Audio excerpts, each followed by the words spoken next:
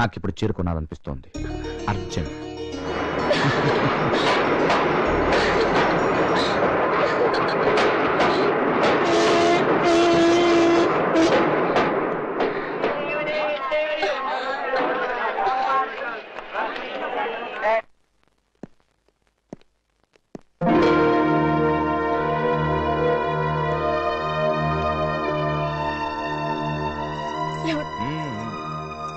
IAS posting వచ్చింది.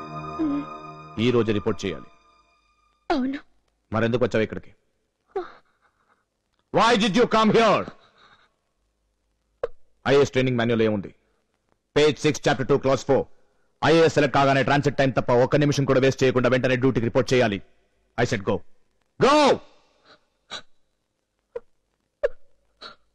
no no no no no tears కన్నీళ్ళొద్దు.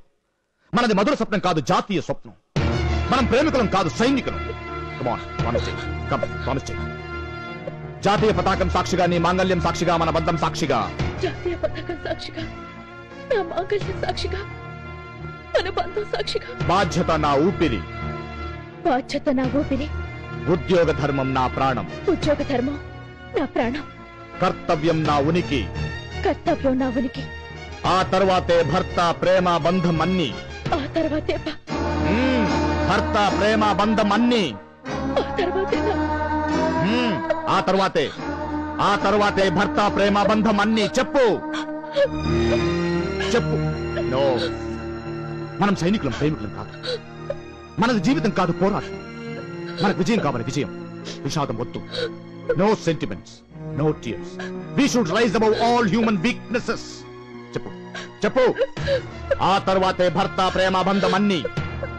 ఆ తర్వాతే భర్త ప్రేమ బంధం అన్ని బంధం అన్ని Good, good, go. Go, go, go, report your duty. Go. There's no time. Go, go. Report first.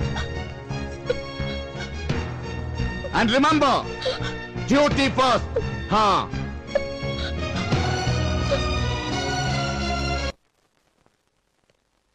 Good morning madam good morning good morning madam good morning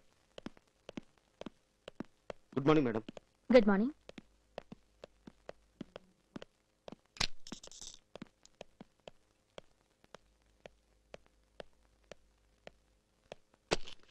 good morning madam good morning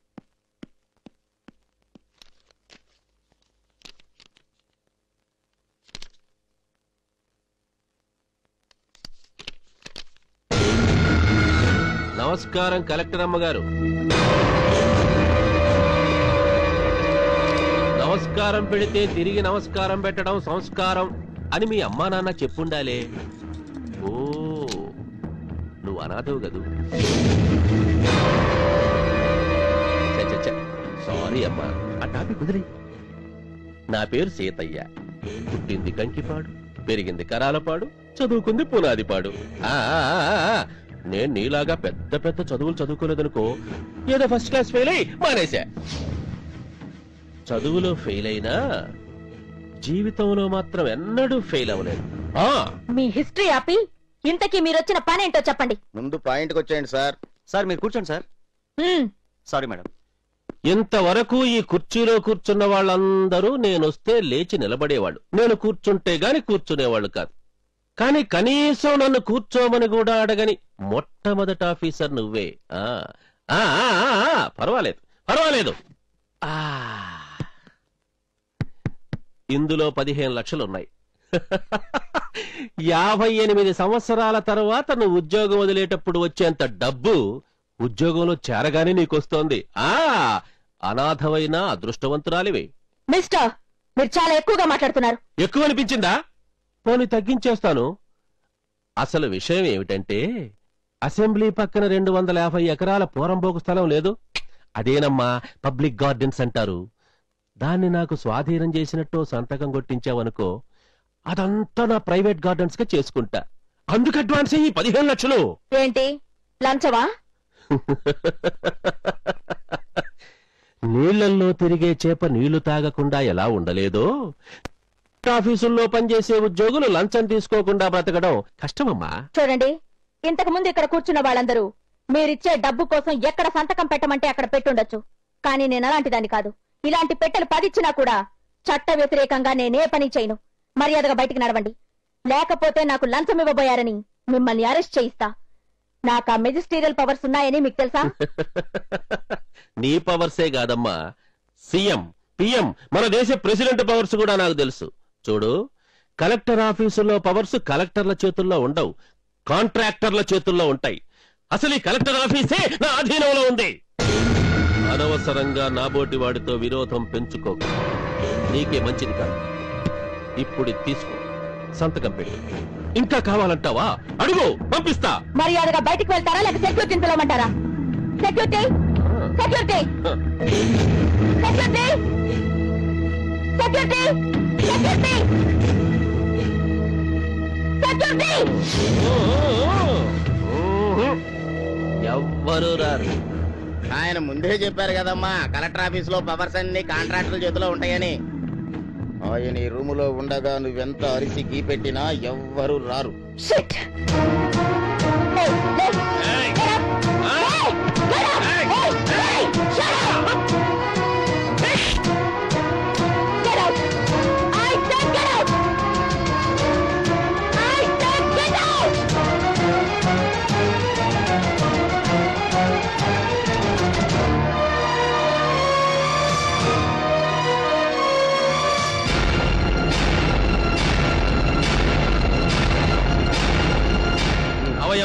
రా చూడవయ్యా ఇవిడ చైతి. అది కాదు.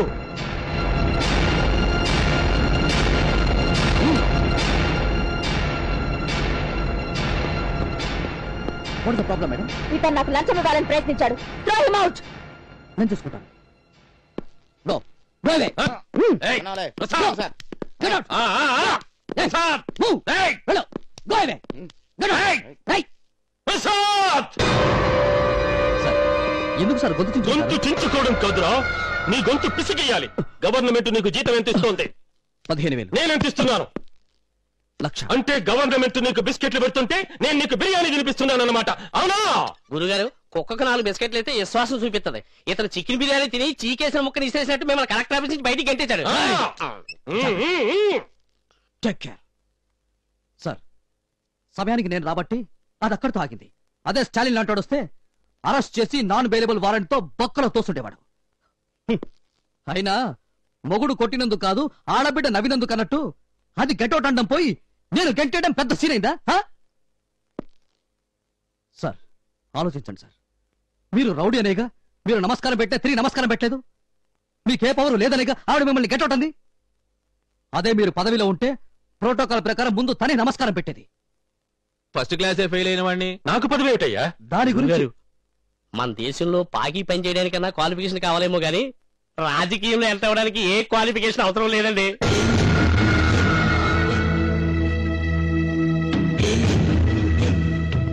అధికార పార్టీలో చేరండి. మిమ్మల్ని ఇమీడియట్గా మినిస్టర్ని చేస్తారు ఆ పదవిని అడ్డం పెట్టుకుని కేసులు కొట్టేయచ్చు కాసులు సంపాదించుకోవచ్చు. కానీ నాకు అన్ని పార్టీలతోనూ కనెక్షన్లు ఉన్నాయే. అధికార పార్టీలో చేరితే మిగతా పార్టీలతో లింకులు పోతాయి కదయ్యా. ఏమీ తెగవు. జనం ఉన్నప్పుడు లింకు లేనట్లు మాట్లాడుకుంటారు. జనం లేనప్పుడు కలిసి లిక్కర్ పంచుకుంటారు. దానే రాజకీయం అంటారు. మొత్తానికి నాళ్ళకు చక్కని ఐడియా ఇచ్చావయ్యా కాకి. అంటే నేను పెట్టిన బిర్యానీ నీకు బాగా జీర్ణమైందన్నమాట. రేపే అధికార పార్టీలో చేరబోతున్నా. దొండ ముదిరితే ఓసర వెళ్ళి రౌడీ ముదిరితే రాజకీయ నాయకుడు. ఏంట్రా? అదే సార్ మీరు అధికార పార్టీలో జాయిన్ అవడమే కరెక్ట్ అంటాను. అంతకంటే ముందు బ్యాలెన్స్ వర్క్ ఒకటి ఉందరా. ఏంటి సార్ అది? శని పోతూ పోతూ మేలు చేసిపోతాడంటారు ఆ. నేను రౌడీయిజంలో నుంచి పోతూ పోతూ ఆ కలెక్టర్ అమ్మకు కీడు చేసి పోబోతున్నా. యాక్షన్కి రియాక్షన్కి గ్యాప్ ఉండకూడదు కదా? ఎక్కడ రాది? ఎక్కడ రాది?